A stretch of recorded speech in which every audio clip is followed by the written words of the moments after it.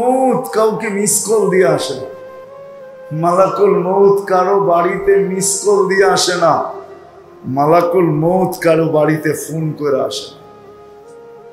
মালাকুল মৌত কারও বাড়িতে চিঠি দিয়ে আসে না। খবর দিয়ে আসে না। সত্য এটাই। বহুত মানুষের অভিযোগও ছিল, জামনে একটু বইলা আসলে কি হয়? তো মালাকুল মৌতের উত্তরও আছে। তুমি কত চিঠি চাও? তোমার কাছে চিঠি তো কম আসে নাই। তোমার কাছে চিঠি তো যেদিন তোমার অস্তিত্ব, ওদিন তো প্রথম চিঠি তোমার কাছে আসছে। সাথে সাথে যে অস্তিত্ব নিছো, তোমাকে মরতেই হবে। কুল্লু অস্তিত্ব নিছো, তোমাকে মরতেই হবে। প্রথম চিঠি তো এটা ছিল। যদি যৌবনে পা দিস ওদিন তো দ্বিতীয় চিঠি চলে আসছে তোমার কাছে। যে যৌবনে পা দিস মানি তোমার বিরুদ্ধে কলম চলা শুরু হলো। যতদিন পর্যন্ত যৌবনে পা দেয় নেয়, কলম তার বিরুদ্ধে লেখে নেয়, কিচ্ছু লেখে নেয়। কলম বিরুদ্ধে চলে নাই পক্ষে চলছে। বিরুদ্ধে না। যেদিন যৌবনে পা দিছে ওদিন দ্বিতীয় চিঠি। এখন থেকে কলম তোমার বিরুদ্ধে চলতে শুরু করবে। দাড়ি ছিল না, তখন একরকম চিঠি। দাড়ি দ্বিতীয় চিঠি ছিল। যে দাড়ি চলে আসছে কিন্তু প্রস্তুত হয়ে যাও। দাড়ি চলে আসছে। কাঁচা ছিল, দুই একটা সাদা হতে যখন শুরু করল তা আরেক চিঠি। এটা একটা চিঠি। প্রতি ডিসেম্বরে থার্টি ফার্স্ট নাইট আমরা হয়তো নতুন বয়সকে বৎসরকে খুশিতে স্বাগত জানাই। আসলে যদি বিবেকমান হইতাম, বুদ্ধিমান হইতাম, ভাবতাম, তাহলে প্রত্যেক থার্টি ফার্স্ট নাইট আমার কান্নার ছিল। যে অতীত বৎসরটা তো কেটে গেল। এই বৎসরটার ভিতরে আমার কোনো চিঠি ইস্যু না হয়ে যায়। যে এই বৎসরই আমার শেষ বৎসর, আর কোনোদিন থার্টি ফার্স্ট নাইট আমি চোখে দেখব না। যেমন সূর্য প্রতিদিন সকালে বলে, প্রতিদিন সকালে বলে, আনা ইয়মন জাদিদ, আমি নতুন দিন। আল্লাহ আমালিকা শাহিদ, তোমার কর্মের উপরে আমি সাক্ষী। ফক্তানিম বুদ্ধিমান যদি হও, তাহলে সুবর্ণ সুযোগ মনে করতে পারো। লান আউতি হায়াতিকা আবাদা। হতে পারে কালকে সকালেরটা তুমি উঠতে নাও দেখতে পারো। এই রাত্রে কত মানুষই তো কবরে চলে যাবে। ঠিক না? না যাবে না? আরে কত না হোক, দুই চার দশ জন তো পুরা বাংলাদেশের ভিতর থেকে যাবে? সারা দুনিয়ার থেকে তো দুই চার দশ হাজার যাবে। তো তো আর কালকে সকালে সূর্য ওঠা দেখল না, ঠিক না? তো থার্টি ফার্স্ট নাইট কিন্তু আমার খুশির ছিল না, কান্নার ছিল, যদি আমি বুদ্ধিমান হতাম। তাহলে আমি কানতাম একটা বৎসর তো আমি পার করে দিলাম। যেইভাবেই পার করে দিয়া থাকি, সুখে আর দুঃখে। জীবিত ছিলাম একটা বৎসর, আমার পার হয়ে গেছে। সামনের বৎসরটা আমি পার করতে পারব কি পারব না? এই কান্না আমার রাত্রে আসতো যে আজকে একটা চিঠি হয়তো ইস্যু হয়েও গেছে যে এই বৎসরের থার্টি ফার্স্ট নাইট আর একে আমরা দেখাবো না। কি হতে পারে না পারে না? হ্যাঁ? কিন্তু আমরা তো খুশিতে স্বাগত জানাই। যা হোক কথাকে আমি গুছায় নিয়ে আসি। মানুষ মানুষ রূপরেখায় মানুষ হইলেই মানুষ হয়। রূপরেখার মানুষ মানুষ না। রূপরেখার মানুষ মানুষ হয় না। আমাদের সমাজে হয়, কাগজে কলমে হয়। কিন্তু মানুষকে মানুষের মতো মানুষ গড়তে হয়। অস্তিত্বটা আল্লাহর দায়িত্ব ছিল, গঠনটা আল্লাহর দায়িত্ব ছিল, পূর্ণতা আল্লাহর দায়িত্ব ছিল। আল্লাহ পূর্ণতা দিয়া মানুষ মারপ্যাট থেকে অস্তিত্ব দিয়েছেন। যাকে পূর্ণতা দেন নাই, তার উপরে প্রশ্নের আঙ্গুলে উঠান নাই। মানুষ রূপরেখায় যদিও মানুষ হিসাবে অস্তিত্ব নেয়।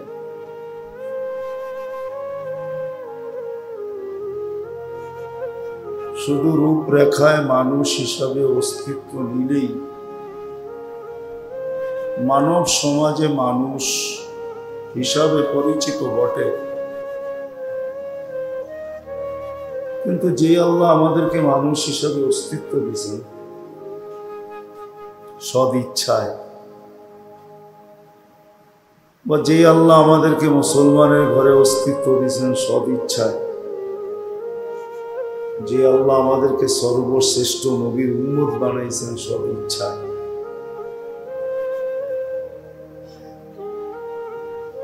শুধু রূপরেখা নিয়ে মানুষ জন্ম নিলেই মানুষ হয় না।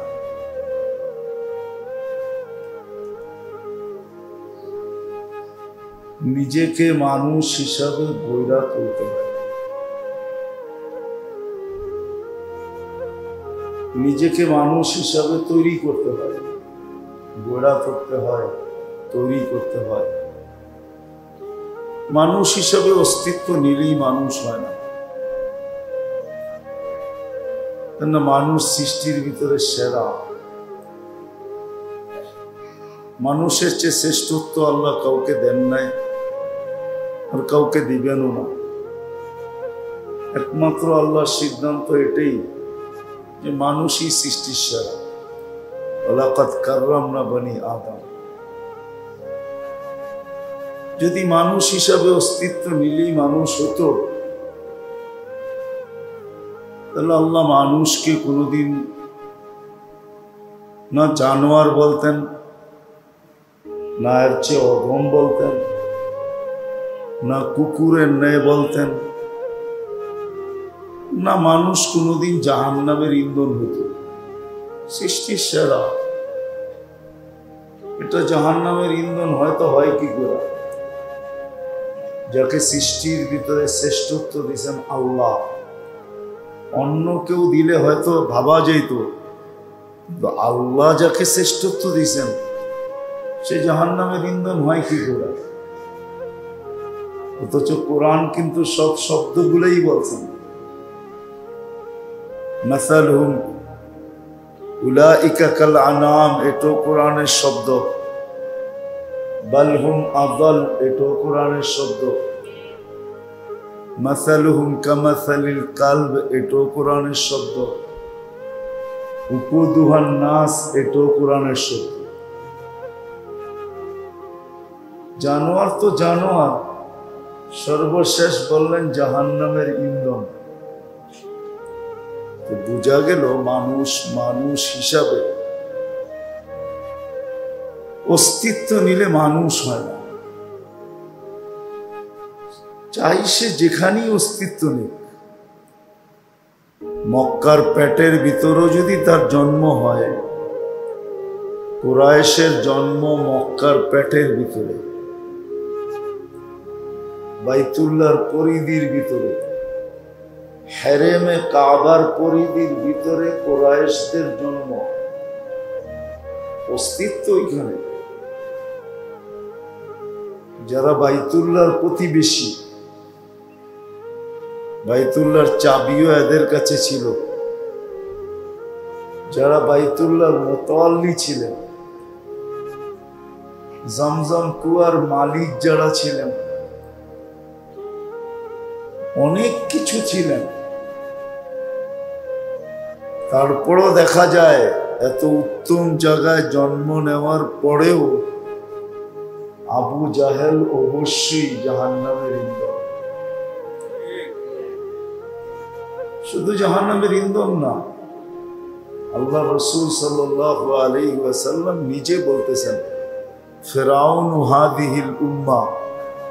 এই উম্মতের ফেরাউন যদি কেউ দেখতে চাও, তাহলে আবু জাহেলকে দেখো। সে এই উম্মতের ফেরাউন। অথচ মক্কার পরিধির ভিতরে তার জন্ম। তো যেখানেই জন্ম নেই, বংশ যত উঁচাই হোক, কেননা সত্য এটাই যেই বংশের থেকে আমাদের নবীজি নির্বাচিত, ওই বংশ কোনো ছোটখাটো বংশ না। কি বলেন? ছোটখাটো? কি আপনাদের ধারণা কি ছোট? খাটো। এর চেয়ে উচ্চ কোনো বংশ দুনিয়াতে আসে না আর আসবে না। এটা জিবরিল আলাইহিস ফতুয়া। ওনার উক্তি পল্লাবতুল কাবা ইলা কুল্লা মা ওয়াজাত্তু আশরাফা মিন কুরাইশ কুরাইশের থেকে উত্তম কোন বংশ আল্লাহ তৈরি করেন কেননা নবীরা সদা সর্বদা উচ্চ বংশের ভিতর থেকে আসেন। আর দোজাহানের বাদশাহ যেই বংশ থেকে আসবে, ওই বংশটা সারা দুনিয়ায় সবচেয়ে উঁচা হওয়া এটাই এটাই স্বাভাবিক। এটাই বাস্তব যার চেয়ে উঁচা কোনো বংশ নাই। জন্ম নেক না উঁচা বংশে, জন্ম নেক না উঁচা জায়গায়। রূপরেখায় যদি মানুষ মানুষ হতো হ্যাঁ আমাদের সমাজে হয়, খাতা কলমে হয়, এই দুনিয়ায় হয় কিন্তু আল্লাহর কাছে রূপরেখায় যদি মানুষ মানুষ হতো তাহলে কবির কথাটা কিছু না কিছু হলেও সত্য হতো কোন ফার্সি কবি বলছেন, মানুষ যদি রূপরেখায় মানুষ মানুষ হইতো আল্লাহ রসুল সাল্লাহ আলহি আর আবু জহেলের গঠনগত দিক দিয়া অনেক কাছাকাছি ছিলেন। অনেক অনেক কাছাকাছি ছিল। নাহলে কবি কেন লিখবেন, গর্বা সুরত, আদমি গর ইনসাবুদে আহমদ আবু জাহেল এক দুইজন গঠনের দিক দিয়ে কাছাকাছি ছিল। বেশি একটা দূরত্ব ছিল না, কাছাকাছি। রূপরেখায় গঠনের দিক দিয়া কাছাকাছি ছিল। বাহ্যিক দৃষ্টিতে কাছাকাছি ছিল। মানুষ রূপরেখায় মানুষ হয় না। চাই যেখানেই জন্ম নেক, চাই যেই বংশেই জন্ম নেক। চাই যেমন কোলেই আসুক, কোল চিনেন, কোল কোল চিনেন? চিনেন না? মা বাবার কোল বলে না? যেমন কোলেই আসুক, যেমন কোলেই আসুক। নবীদের চেয়ে উত্তম কোনো কুল হয় না হ্যাঁ? নবীদের চেয়ে উত্তম কুল আর হয় না। তারপরে ওই নবী, যিনি প্রথম সারির পাঁচজনের ভিতরে একজন। পাঁচজনের ভিতরে একজন। যিনাকে আদমে সানি বলা হয়। মানব জাতির বিকাশ দ্বিতীয়বার যেখান থেকে ঘটা শুরু হলো। আদম আল ইসলাম থেকে ঘটছে বটে কিন্তু নু আল ইসলাম পর্যন্ত আইসা আবার এক প্রলয় আসছে, তুফান আসছে, এক দুর্যোগ আসছে। সমস্ত মানুষ মাটিতে মিশে গেছে। যেই কজন নৌকাতে ছিল, ওই কজনই ছিল। বাকি সব মাটির সাথে মিশে গেছে। আবার ওইখান থেকে মানুষের উৎপত্তি। ওরকম নবী রসুলের কোল থেকে আসছে। ওই কোলে জন্ম, কিন্তু আল্লাহ মানুষ বলতে চাইতেছেন না। আল্লাহ বলতে চাইতেন, ইন্নাহু লাইসা মিন আহলিক, ইন্নাহু আমালুন গায়রু সালেহ। আমরা একটা মানুষ হিসেবে গণ্য করতে চাইতেছি না। জাহান নামের ইন্ধন হিসাবে গণ্য করতে চাইতেছি। যদিও কোলটা আপনার, কার?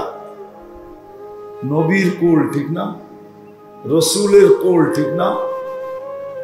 তারপরে মানুষ হিসেবে গণ্য করতে চাইতেছেন না।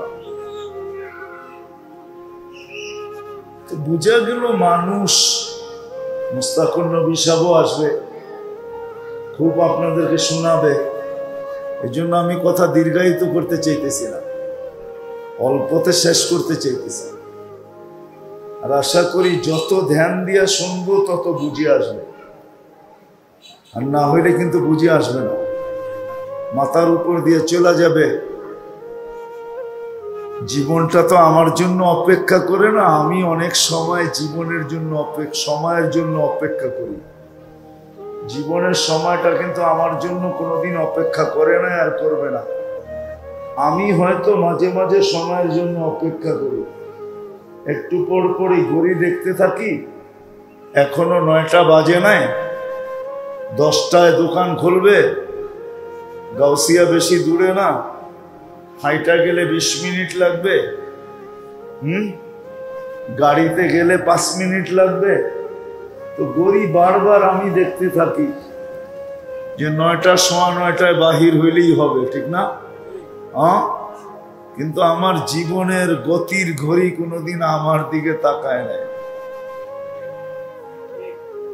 সময়ের গতি কোনোদিন আমার দিকে তাকায় নাই। যে লোকটাকে তো ব্যস্ত দেখি, আমি একটু থাইমা থাকি। লোকটাকে তো অসুস্থ দেখি, আমি একটু থাইমা থাকি। লোকটাকে তো ঝাই ঝামেলায় দেখতেছি, আমি একটু থাইমা থাকি। সে আমার দিকে কোনোদিন তাকাবে না। তাকায় নাই, আমার দিকে তাকাবে না। অচিরি সে গড়াইতে গড়াইতে গড়াইতে গড়াইতে গড়াইতে সে গড়াইতে থাকবে, আমি গড়াই আর না গড়াই। গড়ানো বোঝেন? সে চলতে থাকবে, আমি চলি আর না চলি। সে একদিন আমাকে রেখার উপরে দাঁড় করায় দেবে, রেখা বোঝেন? সীমানায় দাঁড় করায় দিবে, রেখার উপরে দাঁড় করায় দিবে। যেখানে দাঁড় হইতে দেরি, মালাকুল মৌত আমার বুকে হাত রাখতে দেরি করবে রেখায় দাঁড়াইতে দেরি, বুকে হাত রাখতে দেরি করবে না। এই কথা ভাববে না, আর পিছে কে আছে, আর আগে কে আছে? ডাইনে কে আছে, আর বামে কে আছে? এটা কোনোদিন ভাববে না যে আর পিছে কে আছে। উদাহরণ যদি দেই, কত মানুষই তো ছোট ছোট বাচ্চা রেখা চলে যায়, ঠিক না? হ্যাঁ? বিলকুল ছোট ছোট বাচ্চা। কেউ বালেগ হয় নাই। আর সংসারে একমাত্র সেই মাঝি ছিল। মাঝি বুঝেন তো? সংসারের একমাত্র সেই পরিচালক ছিল। কিন্তু কি করবেন? সীমা রেখায় পা চলে আসছে। মালাকুল মদ বুকে হাত রেখা দিছে। একটুও তাকায় নেয় যে পিছনে ছোট ছোট বাচ্চাগুলা। পিছনে ছোট ছোট বাচ্চাগুলা। একটুও তাকায় না তাকাইছে? হ্যাঁ না, সামনে তাকাইছে। যে বাচ্চাগুলোর ভবিষ্যৎ কি হবে? সে তো হুকুমের গোলাম। আল্লাহ বলছে, নিয়ে আসো তো সে নিয়ে যেতে বাধ্য। নিয়ে যাবে না ডাইনে, না পিছে তাকায় দেখবে, না সামনে দেখবে, না ডাইনে দেখবে, না বামে দেখবে। উঠানের দরকার সে উঠায় নিয়ে যাবে। আর এটাই সত্য। এরকম দৃষ্টান্তে দুনিয়াটা ভরা। ঠিক না কিতাবে পাওয়া যায় আল্লাহ কোন পর্বে জিজ্ঞাসা করছিলেন মালাকুল মৌতরে যে অপারেশনে কখনো দিলে ব্যথা লাগছে অপারেশন বুঝেন তো যে তুমি যে নিয়ে যাও কখনো দিলে ধাক্কা লাগছে দুইবার লাগছে কোন দুইবার কিতাবে লেখা আছে কোন দুইবার বলছে, বন্যা চলতেছিল, প্লাবন চলতেছিল। এক নারী প্রেগনেন্ট অবস্থায় কাঠের উপরে বাসতেছিল। আর ওইখানেই বাচ্চা প্রসব। ওই মুহূর্তে আপনি বলছিলেন যে, বাচ্চা রেখা মাকে নিয়ে আসো। তখন বড় ধাক্কা লাগছে, চতুর্দিকে তো পানি আর পানি। কাঠের উপরে ভাসমান। মাকে যদি নিয়ে যাই তো বাচ্চার কি হবে? তখন একটু ধাক্কা লাগছিল। বলে, দ্বিতীয় সাদ্দাত যখন জান্নাত কমপ্লিট করল, কারিগররা যখন বলল যে কমপ্লিট দেখা শুধু সিগনেচার করে দেন। দেখা কি? বাড়ি যখন কেউ বানায় বানায় তো রাজমিস্ত্রি, ঠিক না? যখন কমপ্লিট হয়ে যায়, তখন মালিককে কি বলে? দেখেন তো ঠিক আছে কিনা? দেখা আমাদেরকে কমপ্লিট বইলা আমাদের বিল পরিশোধ করে দেন, ঠিক না? এই তো। বলছে, দেখা সিগনেচার করে দেন যে কমপ্লিট যখন দেখার জন্য দরজায় ঢুকতে ছিল, ডাইন পা হোক আর বাম পা হোক, যেটা ঢুকাইতে ছিল, আল্লাহ বলছেন, মাটিতে লাগার আগে উঠায় নিয়ে আসবে, মাটিতে লাগার আগে। এরকম ঢুকাইতেছে, মাটিতে লাগার আগে উঠে নিয়ে আসবে। যে ওই দিন বড় ধাক্কা লাগছে যে বানাইলো জান্নাত, একটু দেখা গেলে কি হইতো, ঠিক না? একটু দেখা গেলে কি হইতো? একটু দেখতেও দিলেন না। এত খরচ করে বানাইলো, এত ডিজাইনার দিয়ে বানাইলো, আপনার প্রতিযোগী ছিল বটে। আপনার প্রতিযোগিতায় জান্নাত বানায় ফেলছে। কিন্তু একটু দেখতো যে বানাইলো কি? আল্লাহ বলে ওই কাঠের উপরে বাচ্চাটাই এই বাচ্চাটা। কাঠের উপরের বাচ্চাটাই এই বাচ্চাটা যে আমার বিরুদ্ধে জান্নাত প্রস্তুত করছে। আলাদা আলোচ্য বিষয় চলে যাবে, কিন্তু আমি বুঝাইতে চাইতেছি, উঠায় নেওয়া যাবে পিছনে কি এটাও দেখবে না, সামনে কি এটাও দেখবে না? হুকুম হবে, সীমা রেখায় পা দিবে, উঠায় নিয়ে চলে যাবে। কিন্তু সত্য এটাই হলো যে আমাকে, আমি, আমাকে মানুষ গড়তে হবে, মানুষ। শুধু মানুষ হিসেবে জন্ম নিলে হবে না। জন্ম দেওয়া, অস্তিত্ব দেওয়া আল্লাহর দায়িত্ব ছিল। আল্লাহ নিজ ইচ্ছায় মানুষ হিসাবে অস্তিত্ব দিয়েছেন। ঠিক না? অন্য কিছু দিলে কি আল্লাহর বিরুদ্ধে স্লোগান দেওয়া যেত? হ্যাঁ না, অভিযোগ করা যেত। কোনো অভিযোগ না, কোনো স্লোগান না। সদিচ্ছায় মানুষ বানাইছে। মানুষ বানানো দরকার ছিল সদিচ্ছায় বানায় দিছেন মুসলমানের ঘরে জন্ম দেওয়াই দরকার ছিল সদিচ্ছায় মুসলমানের ঘরে জন্ম দিছেন সর্বশ্রেষ্ঠ নবীর উম্মত সদিচ্ছায় বানায় দিছেন কিন্তু আমি আমাকে মানুষ হিসাবে করতে যদি আমি এই কথা বিশ্বাস করি যে আমি আল্লাহর কাছে যাব, আর আমরা সবাই আল্লাহর কাছে যাব যে আল্লাহর কাছে যাওয়াকে বিশ্বাস করে রব্বে কাবার কসম, তাকে নিজেকে মানুষ হিসাবে গড়তে হবে। আর যদি না গড়ল, তাহলে ওই কথাই সত্য। যদিও মানুষ হিসাবে অস্তিত্ব নিল, সৃষ্টির সেরা হিসাবে অস্তিত্ব নিল, কিন্তু আল্লাহ বলতে বাধ্য মানুষ হিসাবে অস্তিত্ব নিলে কি হবে? তুমি তো মানুষ হইলে না, জানোয়ার হইলে। তুমি তো মানুষ হইলে না, জানোয়ারের চেয়েও অদম হইলে। তুমি তো মানুষ হইলে না, কুকুরের চেয়েও অদম হইলে। তুমি তো মানুষ হইলে না, তুমি তো জাহান নামের ইন্ধন হইলে ইন্ধন। সত্য এটাই, আমাদের এই ছোট জীবনটা কিন্তু এই জন্যই। ষাট, সত্তর বৎসরের যে জীবনটা আমরা দেখতেছি, আমি তো ষাট, সত্তর বৎসর বলতেছি, কিন্তু আসলে কারও জানা নাই কে কতটুকু পাব। কারও? কারও জানা নাই কে কতটুকু পাবো? মৌত কাউকে মিস কল দিয়ে আসে না। মালাকুল মৌত কারও বাড়িতে মিস কল দিয়ে আসে না। মালাকুল মৌত কারও বাড়িতে ফোন করে আসে না। মালাকুল মৌত কারও বাড়িতে চিঠি দিয়ে আসে না, খবর দিয়ে আসে না। সত্য এটাই। বহুত মানুষের অভিযোগও ছিল জামনে একটু বইলা আসলে কি হয়। তো মালাকুল মৌতের উত্তরও আছে, তুমি কত চিঠি চাও? তোমার কাছে চিঠি তো কম আসে নাই। তোমার কাছে চিঠি তো যেদিন তোমার অস্তিত্ব, ওদিন তো প্রথম চিঠি তোমার কাছে আসছে, সাথে সাথে যে অস্তিত্ব নিছো, তোমাকে মরতেই হবে। অস্তিত্ব নিছো, তোমাকে মরতেই হবে।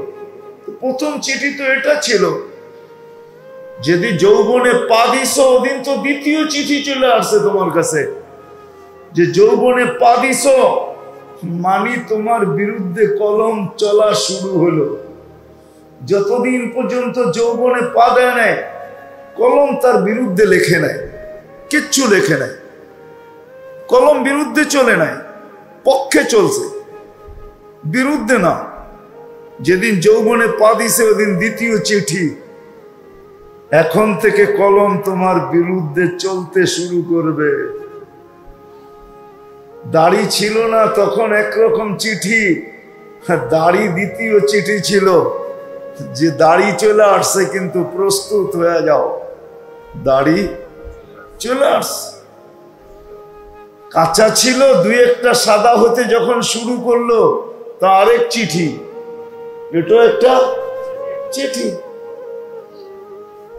প্রতি ডিসেম্বরে থার্টি ফার্স্ট নাইট আমরা হয়তো নতুন বয়স বৎসরকে খুশিতে স্বাগত জানাই।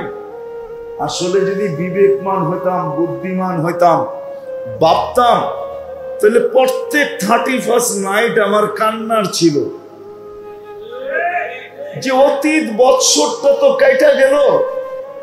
এই বৎসরটার ভিতরে আমার কোনো চিঠি ইস্যু না হয়ে যায় যে এই বৎসরই আমার শেষ বৎসর। আর কোনোদিন থার্টি ফার্স্ট নাইট আমি চোখে দেখব না। যেমন সূর্য প্রতিদিন সকালে বলে, প্রতিদিন সকালে বলে, আনা ইয়মন জাদিদ, আমি নতুন দিন। আল্লাহ আমালিকা শাহিদ, তোমার কর্মের উপরে আমি সাক্ষী। ফক্তানিম, বুদ্ধিমান যদি হও, তাহলে সুবর্ণ সুযোগ মনে করতে পারো। লান আউতি হায়াতিকা আবাদা। হতে পারে কালকে সকালেরটা তুমি উঠতে নাও দেখতে পারো। এই রাত্রে কত মানুষই তো কবরে চলে যাবে। ঠিক না? না যাবে না? আরে কত না হোক, দুই চার দশ জন তো পুরা বাংলাদেশের ভিতর থেকে যাবে। সারা দুনিয়ার থেকে তো দুই চার দশ হাজার যাবে। তো তো আর কালকে সকালে সূর্য ওঠা দেখল না, ঠিক না? তো থার্টি ফার্স্ট নাইট কিন্তু আমার খুশির ছিল না, কান্নার ছিল, যদি আমি বুদ্ধিমান হইতাম তাহলে আমি কামতাম একটা বৎসর তো আমি পার করে দিলাম। যেইভাবেই পার করে দিয়া থাকি, সুখে আর দুঃখে। জীবিত ছিলাম একটা বৎসর, আমার পার হয়ে গেছে। সামনের বৎসরটা আমি পার করতে পারব কি পারব না? এই কান্না আমার রাত্রে আসতো যে আজকে একটা চিঠি হয়তো ইস্যু হয়েও গেছে যে এই বৎসরের থার্টি ফার্স্ট নাইট আর একে আমরা দেখাবো না। কি হতে পারে না পারে না? হ্যাঁ? কিন্তু আমরা তো খুশিতে স্বাগত জানাই। যা হোক, কথাকে আমি গুছায় নিয়ে আসি।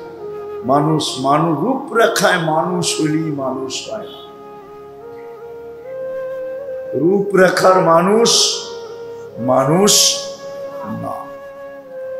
রূপরেখার মানুষ মানুষ হয় না। আমাদের সমাজে হয়, কাগজে কলমে হয়। কিন্তু মানুষকে মানুষের মতো মানুষ গড়তে হয়।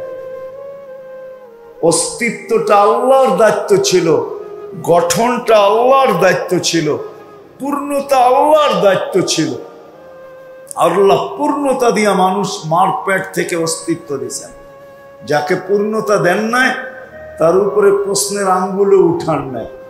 যেমন, কেউ বাকশক্তি নিয়ে আসে নাই মার পেটের থেকে। সে পূর্ণতা নিয়ে আসে নাই বাকশক্তির নিয়ে আসে নাই। এটাও কিন্তু অপূর্ণতা। বাকশক্তি নিয়ে আসে নাই। বাকশক্তি সম্বন্ধে তাকে কিচ্ছু জিজ্ঞেস করা হবে না। মরার পরে কিচ্ছু জিজ্ঞেস করা হবে না বাক শক্তির ব্যাপারে। অথচ আপনাদেরকে আমি এক সাহাবির কাহিনী শুনাইতে পারি শটে আবু দুজানা তাআলা আনহু, যিনি ওই সাহাবি, যিনি বদরের যুদ্ধ থেকে নিয়ে বিদায় হজ পর্যন্ত আল্লাহর রসুলের সঙ্গে ছিলেন। একটা যুদ্ধে উনি পিছে ছিলেন না। শটে বলতেছি ওহুদের যুদ্ধে আল্লাহ রসুল সাল্লাহ আলাইহি ওয়াসাল্লাম বললেন যে আমি এখন তলোয়ার দিতে চাই। যারা এই তলোয়ারের আমি একটা তলোয়ার দিতে চাই। কে কে নিতে প্রস্তুত? তো সবাই দাঁড়াইলেন। আল্লাহ রসুল বললেন, শোনো, এটার হক কয়জন আদায় করতে পারবা এটা বলো। এই তলোয়ারের হক আদায় করতে হবে শুধু নিলে চলবে না। সবাই বৈশাখ গেলেন মাত্র তিনজন দাঁড়ায় থাকলেন। আবু দুজানা অমর রদি আল্লাহ আনহু আর জোবায়ের রদি আল্লাহ আনহু। তিনজন। আল্লাহ রসুল তিনজনের ভিতরে চয়েস করলেন আবু দুজানা হ্যাংলা পাতলা সাহাবি। উনাকে হাতে উঠায় দিলেন, দেখো, এটার হক কিন্তু আদায় করবে। উনি হাতে নিয়ে কতগুলা ছন্দ পড়লেন, ছন্দ। কতগুলা? আরবিতে ছন্দ পড়লেন, যে আমি কিন্তু আবু দুজানা। আমার হাতে আল্লাহ রসুলের তরবারি। হুকুম হলো এটার হক আদায় করব। আজকে দুনিয়া দেখবে যে আমি এটার হক কি করে আদায় করি তুমি জুবাই রদি আল্লাহ তালু বলতেছেন, আমি পিছে পিছে হইলাম আমার মতো হাট্টা গাট্টা লোক অমর রদি আল্লাহ না দিয়েছেন আমার মতো একটা লোক, হুম? দেখতে সাত ফিট, যেরকম শরীর, এরকম চেহারা, এরকম শক্তি, এরকম হাটটা এরকম গাট্টা, আমাকে দিল না, দিল এই হ্যাংলা পাতলা। আমি দেখব কি হক আদায় করে। কি? হক আদায় করে? বা সহুদের ময়দানে নামলেন। এক চুটে আড়াই থেকে তিন হাজারের পুরা সফ যেখান দিয়া ঢুকলেন, শেষ মাথায় যায় থামলেন, এর আগে থামলেন না। দুই ভাগ করে দিলেন।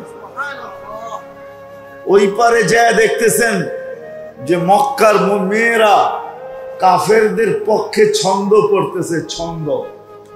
আর ছন্দ যে সবচেয়ে বেশি, যার আওয়াজ সবচেয়ে সুন্দর, আবু সুফিয়ানের স্ত্রী হিন্দা। সে পড়তেছিল আর সবাই তার সাথে সুর মিলাইতেছিল। সে বলতেছিল, শোনো, কাফেরদেরকে বলতেছিল, শোনো, আমরা কিন্তু তারকার মেয়ে। তারকার মেয়ে বোঝেন? তারকা যেরকম সুন্দরী, আমরা এরকম সুন্দরী, আমরা তারকার মেয়ে বলা চলে। আমরা তারকার মেয়ে, আমরা তারকা। আমরা তারকার মেয়ে। আমাদের গায়ের থেকে সুগ্রাণ বাহির হইতেছে। আমাদের অন্যগুলা মুক্তা দিয়া খচিত আছে। যুদ্ধে যা হয় সৈন্যকে উৎসাহিত করার জন্য। তোমরা যে যে আগে বাড়বে আর মুসলমানদেরকে হত্যা করবে, আমরা তার গলায় লাগাবো। তাদের গলা, আমরা তাদের গলায় লাগবো। আর যদি ভাইগা গেলা তো আমরা তোমাদেরকে ছাইরা দিব তো ছাড়িয়া দিব না শুধু। জুতা পিটা কইরা তোমাদেরকে ছেড়া যাব। তাবু দুজানা রদি আল্লাহ যায় হিন্দার মাথার উপরে তরবারি রেখে দিছে। কিন্তু কতক্ষণ পরে তরবারিটা সরায় আনিছেন? জোবার রদি আল্লাহ তালানু বললেন, এত বড় সুযোগ ছেড়া দিলা। তুমি জানো এটা কার তলোয়ার? এটা আল্লাহ রসুলের তলোয়ার। মহিলার গায়ের উপর রক্ত দ্বারা এটাকে কলসিত করব? দুর্বলের রক্ত দ্বারা এটাকে কলসিত করব? এই জন্য নামায় দিছি তারপরে ওইখান থেকে যখন ফিরে আসতেছিলেন, তো মক্কার ভিতরে একজন বড় বাহাদুর ছিলেন, বাহাদুর। বড় বাহাদুর। আমাদের থাকে না কুস্তি বীর সে সর্বলাইনে বীর ছিল, বীর হিসাবে খেতা। তো যখন এর সামনে পড়ছে, তো কাফেররা থাইমা গেছে যে, এ করে কি দেখি? মুসলমানও থাইমা গেছে যে, আজকে আবু দুজানা করে কি দেখি? আল্লাহ রসুলের তলবারি হক কীভাবে আদায় করে? তাবু দুজানা রাদি আল্লাহ তালু সামনাসামনি হয়েছে দুদিকে কিন্তু সবাই থামা। দেখে এই দুইজনের কি ঘটে, ঠিক না? তারপরে আগে চলবে। কাফেরও থেমে গেছেন, মুসলমানরাও থেমে গেছেন। তো চলতেছে তরবার চালানি। কিন্তু ওই বীর যে মক্কার, সে প্রথম তরবারি চালাইছে আবু দুজানা রবি আল্লাহ তালুর কাদের ভিতরে একটু জখম হয়ে গেছে। আবু দুজানা রদি আল্লাহ তালু যখন দ্বিতীয়বার তরবারি চালাইছেন তো ওরে এইখান দিয়া তরবারি দিয়া দুই টুকরা করে দুই দিকে ফেলা গেছে তো জুবাইর রবি আল্লাহ তালু বলেন যে, আমার বুঝে আসছে কেন আল্লাহ রসুল একে তরবারি দিছে? তো উনি উনি উনি ইয়ামানে শহীদ হয়েছেন মিথ্যা নবীর বিরুদ্ধে যা লড়তে যায়। যুদ্ধে ইয়ামামা বলে এটাকে। ওই যুদ্ধে উনি শহীদ হয়েছেন। উনি শহীদ হয়ে মারা যাওয়ার আগ মুহূর্তে উনি বলতেছেন যে, আমার জীবনের কোনো আমল আল্লাহর কাছে পেশ করার মতো আমার চোখে নাই।